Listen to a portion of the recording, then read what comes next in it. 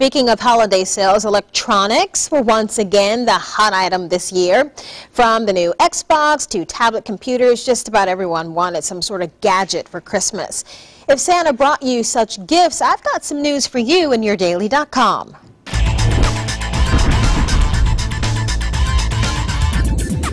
Whether you upgraded from your old computer to a shiny tablet, joined the masses, and traded that flip phone for a new smartphone, or Santa was really good to you this year and replace your tube TV for an HD television, you'll want to make sure those old devices are disposed of properly and that doesn't mean shoving it into the garage to collect dust.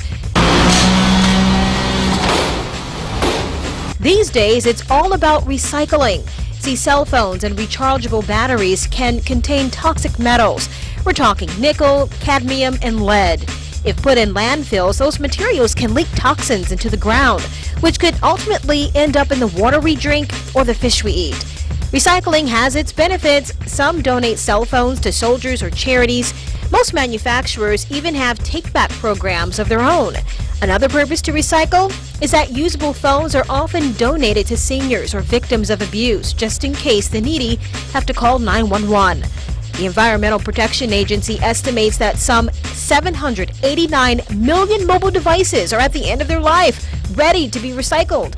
Locally, you've got Pensacola Recycle or Mobile's Equip eCycle where you can drop off your used goods. Then, of course, rechargeable batteries or cell phones can be taken to Radio Shack. Best Buy, they'll take back just about everything. Computers, laptops, TVs up to 32 inches, printers, even monitors.